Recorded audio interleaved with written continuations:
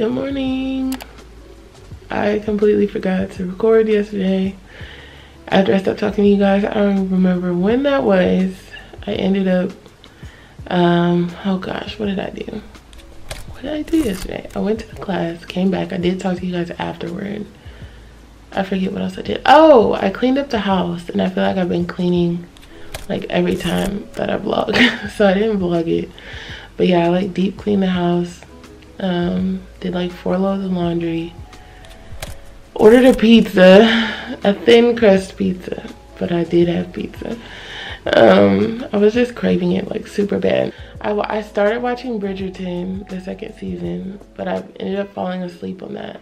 I had showered and was in like comfy clothes and I was like, I was ready to lay it down. So I ended up falling asleep on it and woke up like at 10 or something super late.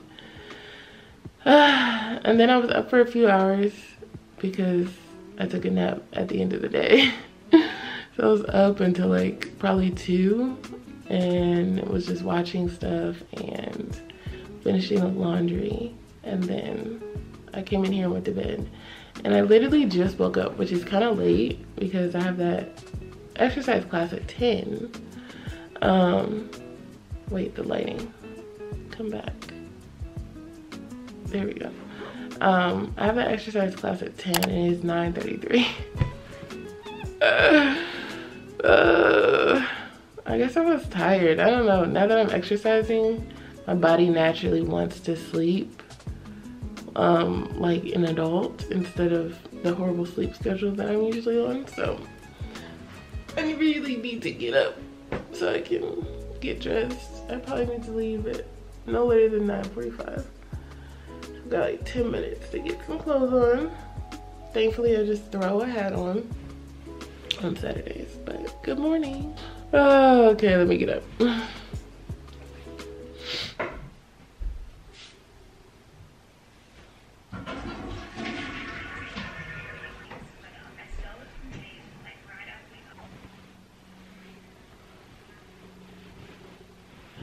Alexa, what's the weather today? The current weather is 35 degrees Fahrenheit with mostly cloudy skies. Today, you can look for snowy, rainy weather. Snow! 38 degrees. This has become my default workout hat just because, I don't know, it matches my Adidas shoes. and, oh, I need to put that on here. Ah!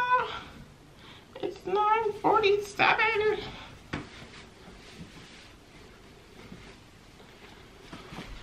As you heard Alexa say, it is in the 20s right now, or 30s, which is crazy because we have had pretty much 60s and 70s for weather, and maybe some high 50s as well lately. So to be back to cold weather It's very much like Ohio, but I was just really hoping we didn't have to go through that this year.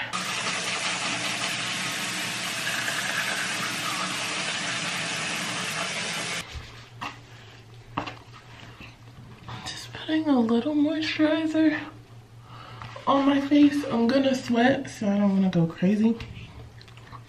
But I just need something to wake my face up. Need to fill up my water so I don't pass out. I'll see you grab the oranges. This is hilarious. Why are you rushing? I don't like rushing.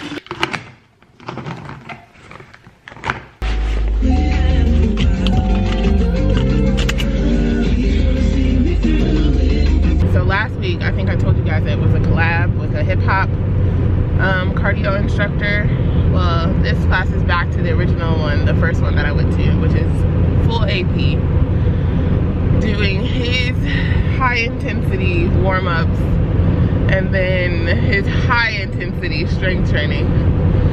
So, not to say that last week was easy, because it was not. I was in pain all freaking week. But it's just gonna be different and it's gonna be back to the level of class that made me want to throw up and i didn't bring my snacks it's okay guys it's okay it's gonna be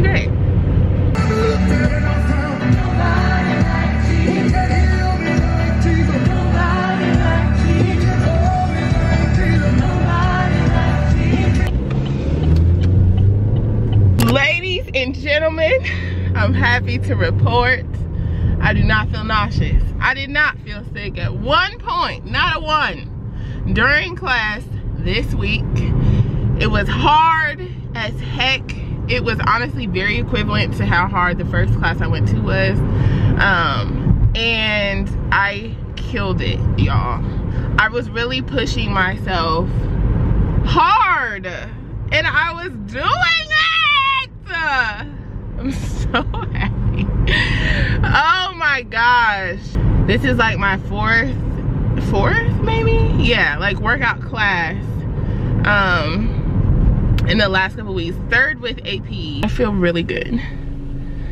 Oh my gosh, it just makes me want to work out more. I was actually salty because I didn't turn the exercise workout um, app on on my Apple Watch. So it didn't count like half my exercise. Usually it will still count your exercise points even if you're not like tapped into a exercise. But for some reason this time i don't know if my band was too loose or whatever it wasn't really picking up my heart rate. So it wasn't until 1040 which literally was halfway through the class i only had 11 exercise points. And as soon as i turned on the exercise app it was tracking everything. I was so salty. I'm like for real? For real? So you know a little salty about that but it was fine. All in all it was fine I still closed my exercise ring. I still have a little bit more calories to burn for the day, but I'm feeling really great. Like, I just wanna go do something. I wish I had a bike. I really wanna ride a bike. Y'all are probably laughing at me like, she's high on dopamine. yup, I am. This is such progress from last week. I mean, from, what was that, three weeks ago now. Such progress, maybe even a month ago. Cause that class, I sat in this car and cried to y'all. Now look at me. Just the cheesing.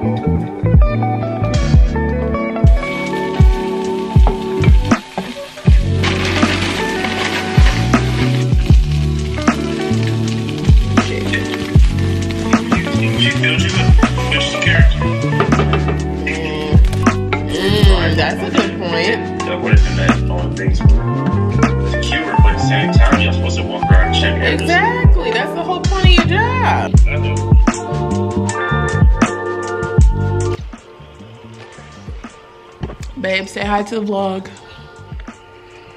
Oh, he's brushing his teeth. I was trying to tell you to say hi to the vlog. I didn't know you're brushing your teeth. Hold, please. Babe.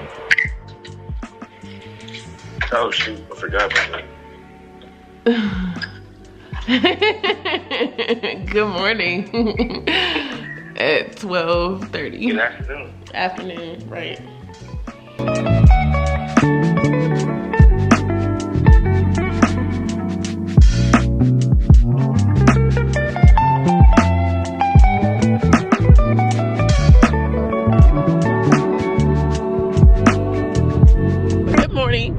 Happy Sunday.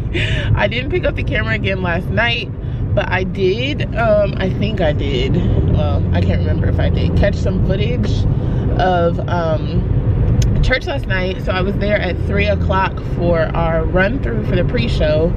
I'm assuming i told you guys that i'm on the pre-show this weekend. Sorry if it's blurry. I'm trying to drive but um yeah our church has like for the online service they have like a pre-show 15 minutes before the second service um, just to engage with our online audience and you know give them more than just the live stream um, you know we talk with them interact do a game all kinds of fun stuff like that so we did our run through yesterday and I was ever so slightly nervous. But honestly, I was very comfortable. Like all in all, I was super comfortable and it was fine. So, um, yeah, I'm really excited. I think it's gonna be really fun. Um, I kind of hinted at it on Instagram that I was gonna be on the pre-show. So at first I was like, let me not and just pop up with no one expecting so that just those who see it will know that I did it. But I really think it's gonna be a good time. It's also a little special surprise on the pre-show that I have for my mama. So I think what I'm gonna do is instead of trying to vlog there, I am going to just put the clip of the pre-show in the vlog. What is What's up, One going Church on, fam? One We are so glad that you're joining Oh my us gosh, this so morning. Um, Yes. But my question for you, Oh my goodness, Dr. Hicks. Okay. um, out of all the ladies in your life, Yeah. what have been the most like influential ones? Oh do my you goodness. think? Okay, Lacey. This this is a, kind of obligatory, right? It's gonna Right. sound a little redundant, but Got you. my mom.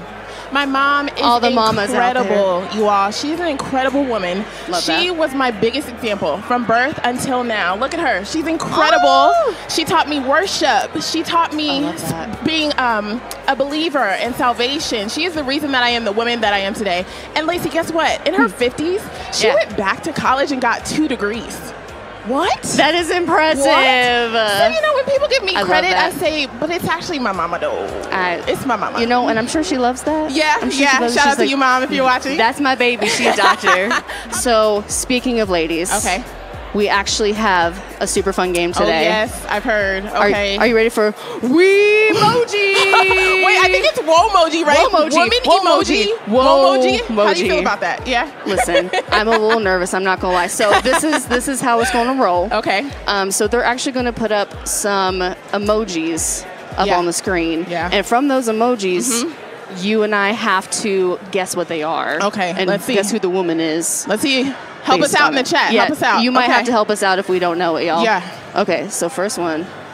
Oh. Okay. Um, a it's plane a it's a pilot. And a pilot. Amelia Earhart. oh. Am I right? Yes. Yes. Yes. that is correct. We just got the word. I'm That's not gonna lie. I was worried I wouldn't know one. So, well, yeah, you, you're ahead of me here. Okay, next one. Okay, TV, TV. money, Oprah, gotta Oprah. be, gotta be Gotta Oprah. be Oprah. Are we right? Oprah. We're doing so much We're better.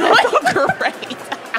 Feeling super fulfilled. Last night's service, um, I sat in on. I usually don't sit in on Saturday. I'll go to Saturday's service if I'm like serving in the kids ministry or um, if I'm serving on One Church Music. But I very rarely sit in on the Saturday service. I don't know if I ever have, to be honest.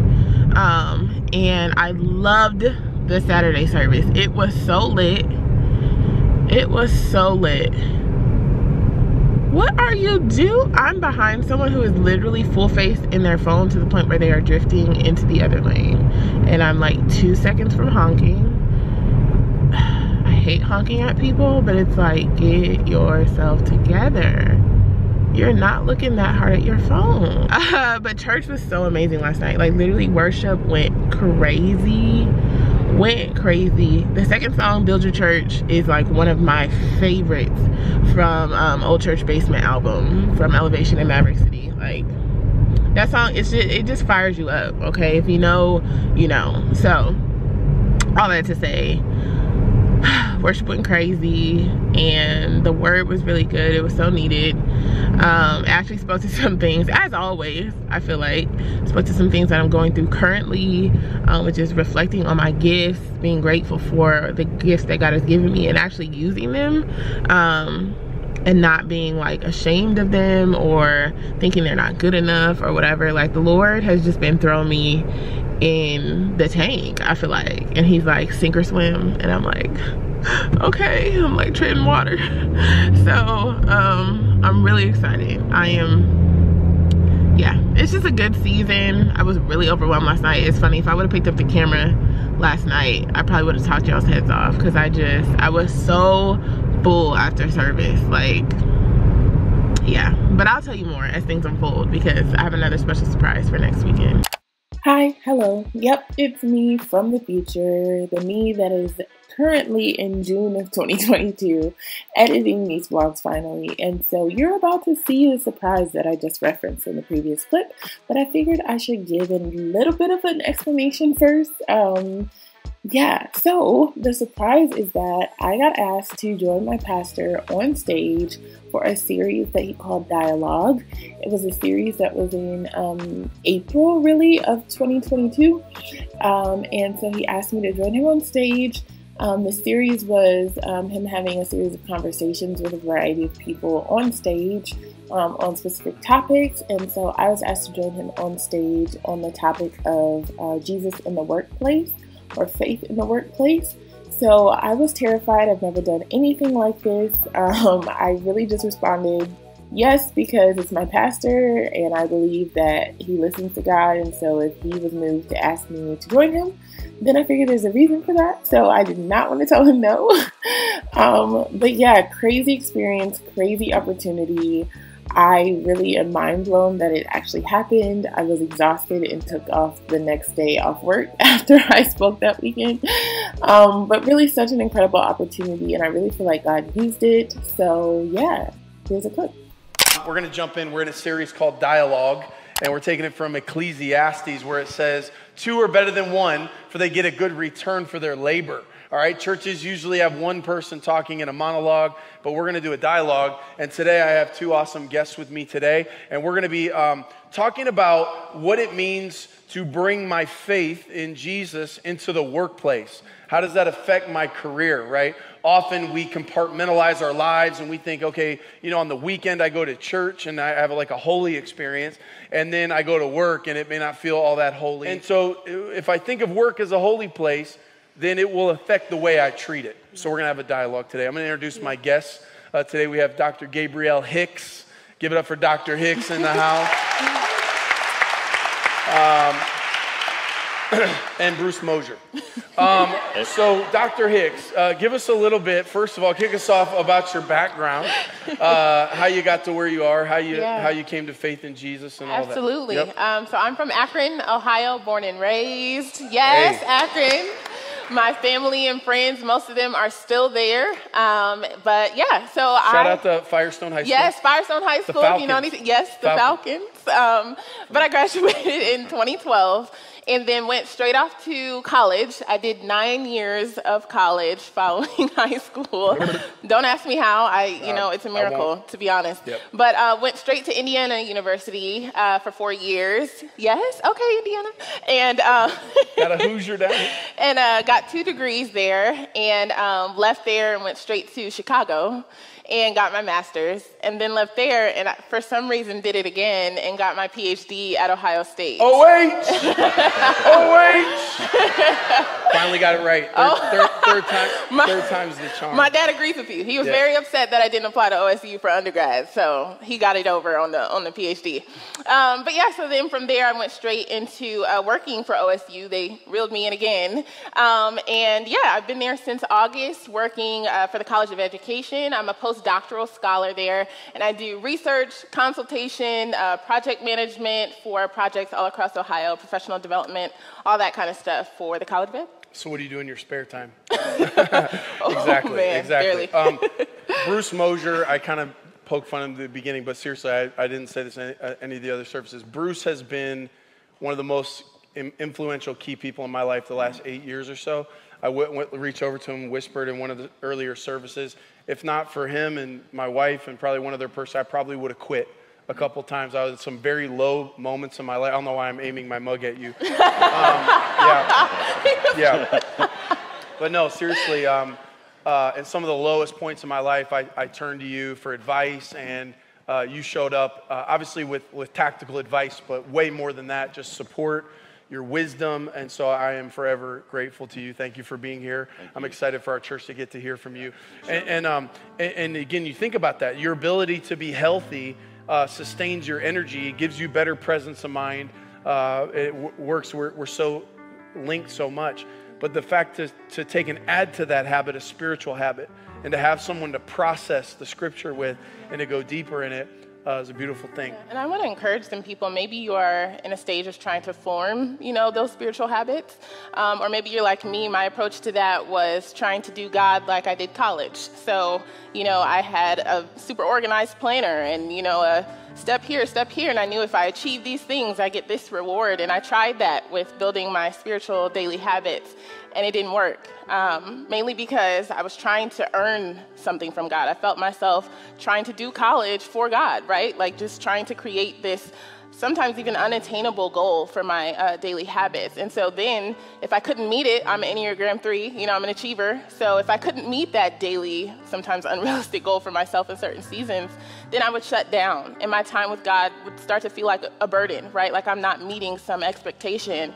And right now in this season, I think God is really showing me that it's not about trying to earn anything, right? He's already given me the grace. He's already given me peace and all access to all of these things. And so now I'm trying to learn to rest in who God is, right? And allow my spiritual habits to be an overflow of our relationship. And just um, as I build and grow deeper with God, rather than trying to, you know, earn an A plus every day. So good. What I, what I heard in there as you were talking also is, is how the gift God's given you, the mind and the will and the drive and all of that that you have, in a sense, are, are amazing because it enables you and empowers you to, to do great things and to bear fruit and to do all of that. But at the same time, there is a foothold the enemy can get to get you locked into legalism. You know, you trying to be God's PhD, trying yeah. to be God's summa cum laude, trying to get God to give you an A plus instead of learning to rest in His grace that your value in His eyes isn't in how many years of college you went or how high you uh, attained and achieved.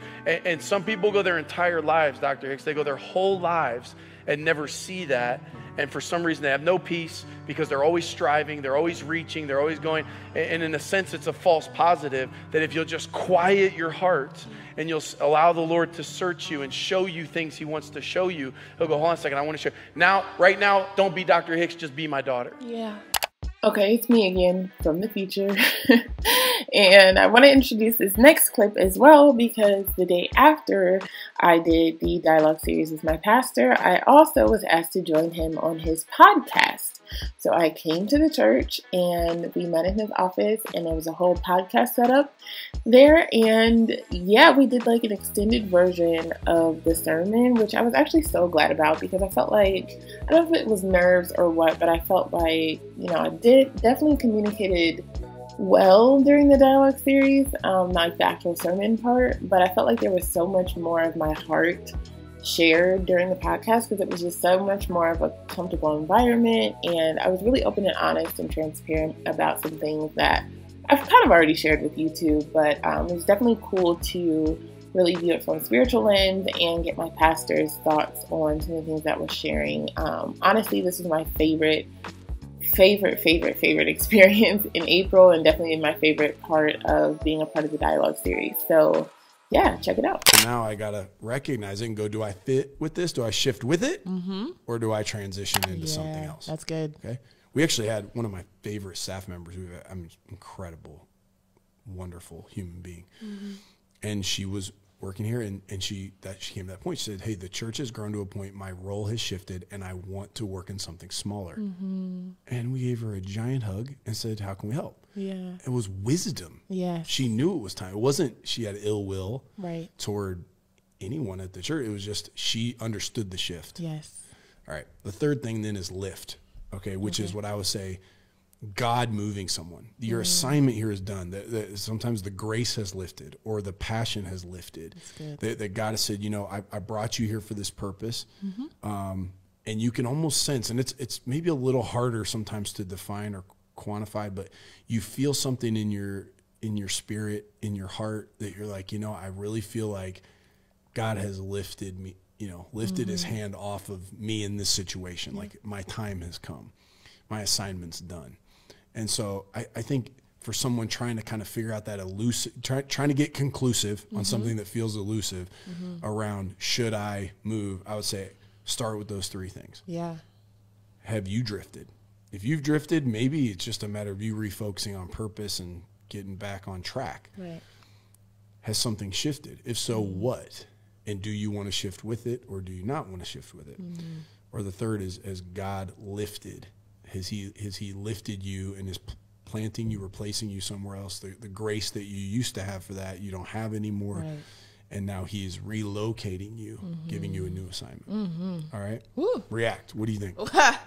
Amazing, first of all. Wow. Um, I think I've related a little bit with each of those categories. And I do think that makes it really practical because I, I've heard all sorts of different reasons for why people leave or are considering leaving. And it's hard to even find direction around that. And I think what you just shared right now is some pretty practical direction. Um, I would have to, I think I would have to sit in it to really figure out where I fit in that because the other reality is I, I've spent most of my life in school. Mm. so mm. I'm just now in my career. And the scary part of it is what you're describing is what I've experienced just in, I was in education for so long. I was in school for so long. I was a student for so long that in some respects, I made those career and passionate decisions at a very young I mean I was mm-hmm. 16 when I mm-hmm. found out about school psychology and said this is what I'm going to do. Mm-hmm. And the world like you said has shifted a lot. Um, our field has shifted. We are um, we always say we'll always have job security because there's always been a shortage of school psychologists a- across the nation. We're always in need. So a lot of times our job, even though, you know, that mission and vision that I found of school psychology moved me to tears, our actual job once I learned about it and then was out in these, you know, in the trenches in schools, it looks very different than what our mission and vision sounds like, you know? And and that was hard for me to accept. Once I learned, you know, all of the different things that we deal with, just the the way of the world. My um, internship was, it started June 2020. If you remember life in 2020, we were what? Barely. Okay. we were three months into the pandemic, and I come in. Mind you, my internship was in Loudoun County, Virginia. So I'm in a whole new state, in a whole new place. I don't know anyone. I can't really go talk and meet with anyone because we're all confined to our houses. And then, you know, parents are saying, hey, my child is struggling, you know, at home. I, I don't know what to do. And we're like, you know, we're trained, but we're not trained in how to deal with kids in a pandemic and how do you teach someone through a pandemic at their house. Yeah, I missed that day in uh, Oh. PhD class. I, oh my gosh. Here's what you do in a pandemic. and that was my first year of like full time work. You know, Baptism by fire. Oh, literally, literally, and where I was, the the the level that they were at, it was kind of like a throw you in there. You know, we'll help you. Fake it till you make it. Oh my god. Oh. When I say stress, okay? And so just watching that job play out in a way that I'm like, when I found it at 16, you know, and had that moment, this is this is a very different experience. Yeah. And so I was sitting with that, like, Lord, I was in college for nine years, and now I'm scared to admit that this is looking like something that I didn't. I don't. I don't think you spoke to me back when I It's so it, what the way you thought that through and the way you thought about that, although it might have felt weird because you're essentially locking onto a vision early Yeah. and going, "Hey, I want to bring this to fruition." The way you're thinking about it, in my opinion, is absolutely correct because the world is changing so fast. Mm-hmm. You got to come back to the core and the root of why am I doing this and what problem am I called to solve. Yeah. I, I went back, you know, kind of toward the tail end of COVID and just looked at my job description. I have a job description. I went, I look at it and I tweaked it mm. because I'm like, you know, pre COVID, it was a different job. My Yeah. purpose is the same, what I'm trying to accomplish Yeah. in building the body of Christ and, and, and preaching the gospel and all of this. Before I might have view myself as a preacher. Now it's a content creator, Yeah. right? What we're doing right wow. now, even Right. right, is part of me changing my job description to go, it's not just my job to stand on a stage and preach on Sundays. It's actually to use every mechanism, Mm-hmm. every medium that I have to get the gospel, to get a message, right? In the same. So I think, you know, I, I applaud you in the way that you're doing that and not, and not seeing a revisitation of the vision, you coming back Mm-hmm. and revisiting that, not seeing that as you being disloyal or unfaithful to the to the original vision Yeah. you're coming back and checking in. Mm-hmm. It's And part you- of the story. It's part of the story. a song about it. Anyways, No, I was just gonna say that is I, I think that's the main thing I wanted to communicate this weekend. And I have to be honest, I was kicking myself afterward because some of the people that were coming up were just, you know, oh my gosh, you know, people hear four degrees by 27, and I feel like they just kind of like raise you up to some like mm-hmm. pedestal. And I, I, I couldn't. It's tough life. It's a tough life we have. now it's, wait, now wait. Okay, I, am sorry. I'm sorry. I, I interrupted you. Okay, so what the point you wanted no, to make? The, the point that I want to make to people though is that point that I, I kind of hinted at, which is that I didn't start out with that, right? I didn't mm-hmm. end up with four degrees because that was the ultimate mission. And I didn't, I wasn't leader and president of these organizations because I said, you know, I'm joining these organizations. I'm going to be your president. I'm going to mm-hmm. tell you, you know, mm-hmm. it was never that. It was always me taking one step and then watching God lead me to the next one. And so, you know, I, I do acknowledge this is not me talking down on myself to say that I'm, you know, not intelligent and all of that, but it, my college experience was not about how smart I was. Mm-hmm. You know, I wasn't necessarily your like 4.5 kid. You know, I had I had great grades, mm-hmm. but it wasn't about me being the top of the class and, and that kind of a thing. It was really just I know I have some some gifts. I know I have a heart for mm. people.